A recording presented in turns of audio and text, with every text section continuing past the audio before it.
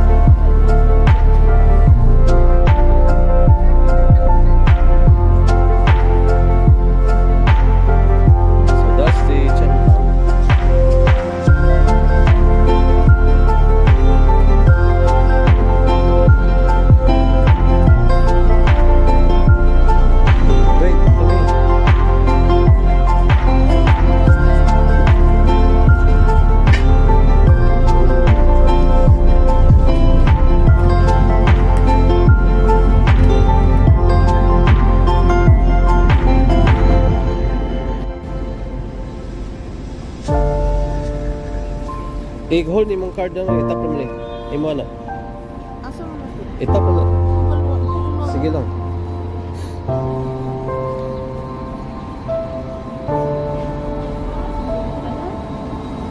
Ha? Munong na eh.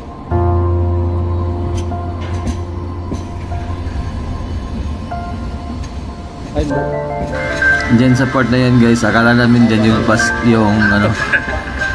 Yan yung yung stop. Hindi pala doon pala sa unahan. Kaya lakad kami konti. Hindi pala yan. Oo, mali kami dyan.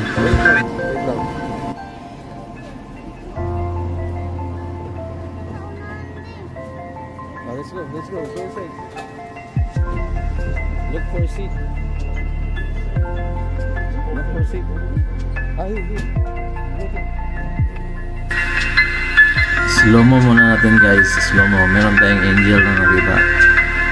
Yan o. He's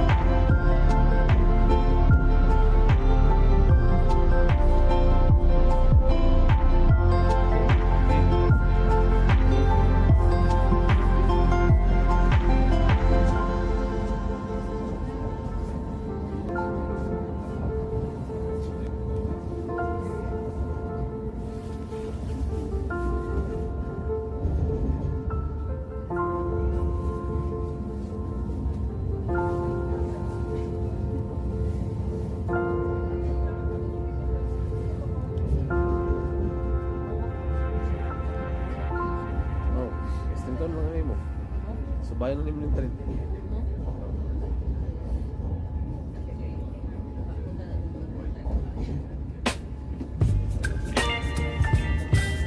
Hey.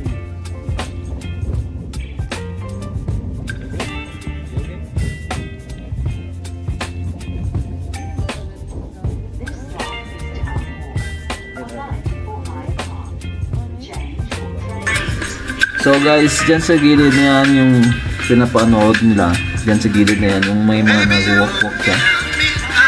So kung marami kang pera dyan, marami kang mabibili kasi nandiyan halos lahat ng mga branded na bags, branded na mga gamit dyan sa, sa side na yan. So kaya kami nag-take ng train kasi first time din nila na makasakay ng train. So gusto mo namin lakarin dyan, yung lugar na yan, wala kaming pera, hindi sapat. So buti mag-train na lang. So yung bayad na ng train dyan is pa- parang 4 dollars lang 4 dollars from our place to Circular K yan po guys kaya nagsakay na lang kami ng train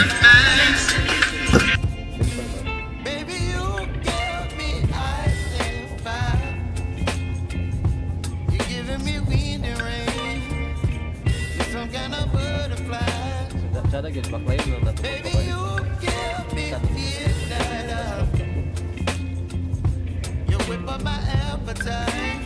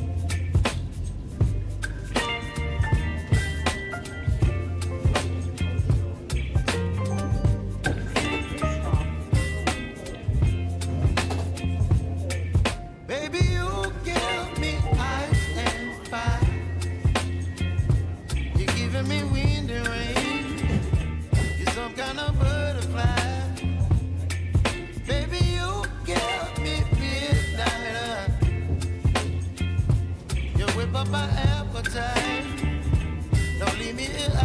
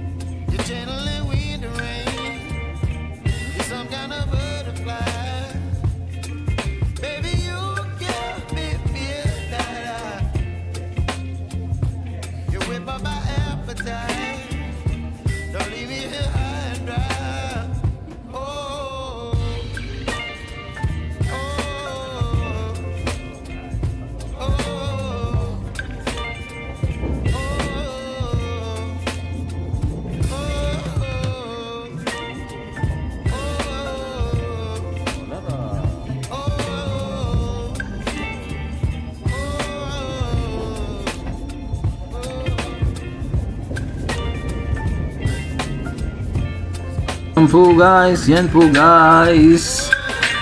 Nakarating na po kami sa destination. So yung travel na yan pala is around like 11 minutes. 11 minutes po. Pero paglakarin mo siya, siguro abot ng mga 45 to an hour. Depends sa lakad. So yan po yung circular K.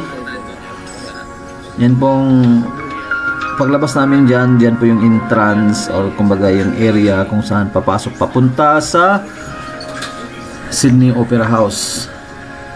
So dyan po na part yung Sydney Opera House, dyan po banda. So part 2 po tayo yung sa Sydney Opera House para makita niyo po yung view during day. So meron po tayong video din na during night time kung ano po yung view during night. So antabayan lang po kayo. Magantay lang, antay lang po kayo sa mga susunod kong video. God bless po. God bless. See you next time. God bless everyone.